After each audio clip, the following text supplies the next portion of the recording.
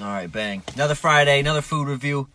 Um, hearing a lot of critics talk shit about the T Bloom food review, saying, "Oh, he's eating garbage food. Don't wonder why the scores are low," or he's not taking he's not taking it serious, and that's just not fucking true. So you can go fuck yourself with that. And if you think I'm eating garbage food, guess what?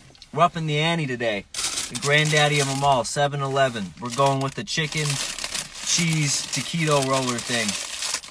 So, fuck it. You tell me, huh?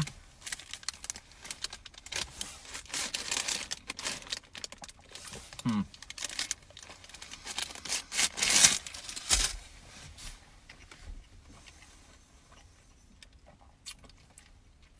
Two out of ten, guys. I mean, I'm sorry. It's just not doing it for me. It's not doing it for me. T-Bloom Food Review, two out of ten. See you next week.